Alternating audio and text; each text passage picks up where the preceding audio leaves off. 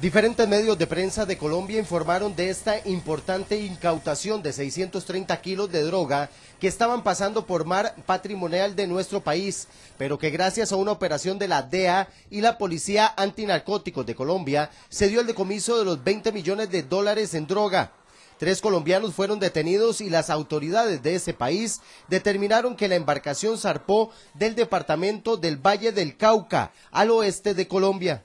Gracias a la información de inteligencia propiciada por la, por la DIJÍN y al seguimiento que hizo permanentemente de acompañamiento de la Fuerza Aérea Colombiana, la fragata ARC Independiente llega al punto